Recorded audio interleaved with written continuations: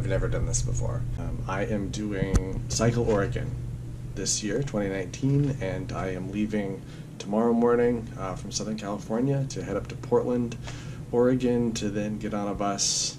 Uh, it's my very first Cycle Oregon. I one of the things I was looking for as I was trying to plan because I like to plan a lot and really have all my ducks in a row was to see what other people were packing. Cycle Oregon has a great packing list.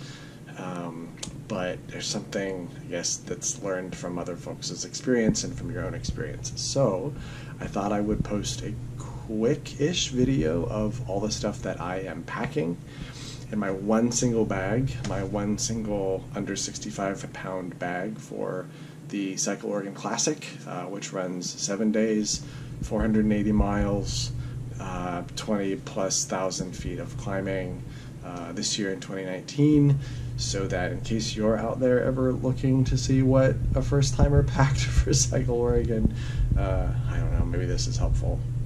At the end, if I survive, when I get back, uh, I'll go through what I did use and what I didn't use, and at the very least, I can watch this video next year. And uh, if I do it again, when I do it again, it's my first time. I haven't decided yet. I will be able to see what I packed and what I didn't use and all of that. So let me walk you through my stuff. So sorry for the messy room. This is everything all laid out. The bag that I ended up with is actually uh, on sale. It was the REI Big Haul 120 liter duffel. I started with the 90 liter and it was just, it didn't quite fit everything comfortably. Um, it was a little snugger than I wanted, so I went up to the um, 120 uh, liter duffel. It's a great bag so far. Most important part is that it has uh, straps to carry uh, on your back. From there, we have uh, one set of clothes that I'm gonna wear to the airport uh, tomorrow and then on the bus so that I don't have to pack it. That's like my pair of camp shoes. Then I've got my sleeping situation. Cycle Oregon offers a tent and porter for 450 bucks for the week, um, but I figured I'd try to rough it and figure it out myself. So I've got the uh, REI Passage 2 tent, which is pretty small and pretty light. Um, I have uh, a just kind of a Aegis Max um, sleeping bag slash blanket that's pretty light and pretty compact. Um, a uh, also got an Amazon uh, Outdoorsman Lab um, sleeping pad, a little tiny pillow, and then because sometimes it's not real comfortable um, any anywhere, I just have this little uh, Thermarest seat pad that is kind of squishy and folds out. Flannel shirt, uh, long sleeve in case it gets cold at night. Um, one pair of shorts that kind of doubles as swim trunks because that was on the packing list uh, pair of like hiking pants, like lightweight um, hiking pants. And then I have a second pair of hiking pants uh, that I'm going to wear to the airport. Um, a t-shirt, since I'm going to Oregon, it is my Bigfoot t-shirt. Um, and then I have a uh, Trek, old school Trek t-shirt so that I can um, make sure people know that I have cycling cred, a little bit of cycling cred. Um, and I'm not just totally some yahoo course, uh, underpants. We got to pack underpants. Um, and then I got some cold weather stuff uh, just in case. And I'm going to pack all that up in um, a compression bag, a beanie, some gloves. Um, here, just like some lightweight gloves, uh, a couple of pairs of socks just for walking around camp, like a buff um, that kind of just goes over your head or your neck or wherever you want it. Uh, my Patagonia um, I got this on sale at REI and it stuffs down into its pocket, so that compresses pretty well.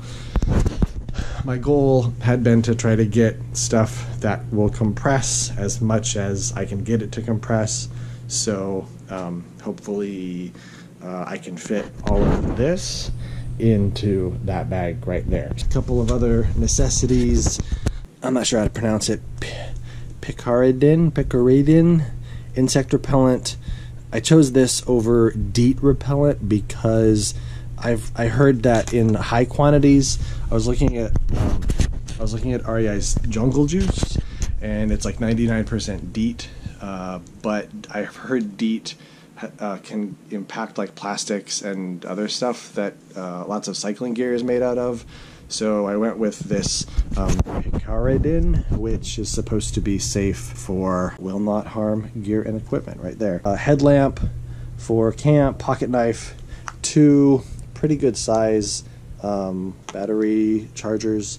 I think they're 12,000 uh, mAh capacity. Two of those so I can charge up my devices. I think all of my cables. Uh, I'll come back to these two batteries for a second. I have some Leukotape. This stuff, actually, which is good for blisters and anything else that you might need to tape up on your body. Some Leukotape wrapped around a Sharpie, uh, a couple other pens, some backup batteries for my headlamp, uh, a couple of CR2032 coin batteries, which is what powers lots of um, cycling stuff. My um, cadence meter, uh, my heart rate monitor. So that's my electric bag. A journal. Had been using it as a bullet journal, but not recently. But I'm to try and pick that back up. Have a lightweight, like microfiber towel that folds up in this for when I take a shower. Toilet paper, because even though it's a well supported event, Cycle Oregon, uh, you never know when you're going to be the one to walk into the porta potty and there's not any toilet paper. So, roll of toilet paper, uh, flushable wipes, and uh, some heavy duty sunscreen because I am a, a ginger. All my toiletries, which include deodorant and hand sanitizer and body wash and toothpaste and contacts and kaopectate because I sometimes get weird tummy issues when I'm traveling. Um, cooling gel in case my insect stuff doesn't work, then I can deal with the bites. Of course, band aids and all of that. Uh, I am bringing an emergency blanket. Uh, who knows if I'll need it, but I'd rather have it and not need it than need it and not have it. We're about halfway there. And let me come over to my cycling gear. I don't need to go through all of these pieces, but I'm essentially taking one jacket, uh, lightweight like rain cycling jacket that the shoulders zip off of and it zips into a vest. One kind of like a long sleeve, almost winter jersey. I don't know if I'll need that. Usually with a regular short sleeve jersey and this windbreaker jacket, I'm usually okay, but it might get down pretty cold. Uh, I sweat a lot, so I have, I think I'm bringing three different like sweat uh, headbands. One of these, a different type, and then kind of this thicker, just cycling cap. I'm bringing four cycling jerseys. I ordered the Cycle Oregon jersey, so uh, that will be a fifth one. I, I might only take three. I might only use three, um, but figure I'll have the extra one. It doesn't take up that much space. I've got four bibs here in this bag. Got two cycling base layers and then one pair of just tights. Um, and I figure I can use the tights uh, like running tights. They're not padded, they don't have a chamois, so running tights in case I get cold at night, uh, get cold around camp, I can put them under my, my camping pants or I can wear them on a ride in the morning. I have four pairs of, they're not arm warmers, they're like UV protectors. I didn't want arm warmers because I've got the jacket, like I mentioned before. Um, but I picked these up on Amazon real cheap, and so uh, figured that they would help keep me from being too sunburned. Um, I've got, of course, my sunglasses, my helmet, my cycling shoes, my cycling socks, four pairs of socks in my shoes, two water bottles, one there. Um, I'm gonna see what I can shove in those two water bottles. A friend bought me like as a gag gift, I think. I've got my road ID um, there, and I'll edit that out because I yeah.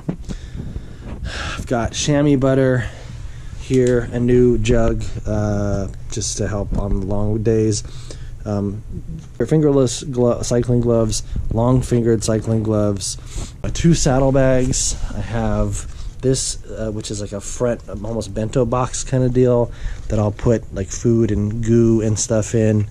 And I also, uh, this is a good fit for my frame pump.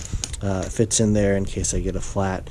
And then here's my saddle bag that has just kind of general tools. It's a bigger one. I experimented with a couple leading up to this, um, but I ended up with uh, this bigger Topeak bag, and in it is where I'll put my probably two extra tubes a day, my tire levers, my uh, kind of bike tool, um, whatever else needs to go in there for the day. Lastly, I am taking five extra tubes. I wrapped these uh, with the GPLama uh, take all the air out wrapping method. Then wrote like what size they are. I'm running probably bigger tires than some other people will be up there. So I want to make sure that if somebody else needs a tire, they know what size I am giving them. And then two items really for recovery. One is just a yoga strap uh, that I will try to use. I just picked this up at like Marshall's or something, but like a six foot or eight foot yoga strap that I can use to help me stretch out after the ride and before the ride.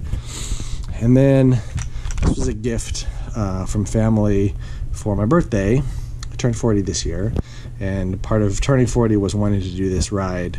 So they bought me this um, percussive or percussion massager, which actually is great it's loud. And so my only fear and worry is that it's gonna not be welcome in camp, but hopefully it'll be noisy enough that no one will notice. So I have this one and I am taking two fully charged batteries for the for the vibe and with the hope that it's going to last for those 7 days and I'll be able to at least get a few minutes every day of good uh, percussion massage out of this one right here. That's everything, uh, as I can tell. Two of the things, picking up a small mirror from the dollar store so I can put my contacts in and take my contacts out. I also have, I forgot to mention, I have a, a clothesline. I have a clothesline that I can clip inside my tent so that I can wash my shorts or chamois or jerseys or whatever and then hang them up to dry either through the afternoon or for the day. So we all those are the two other things that I forgot to mention. So that has been my Cycle Oregon packing list, uh, gear list of everything that I am taking. So wish me luck. Thanks. If you're watching this, uh, thanks. I really appreciate it. Hope it was helpful.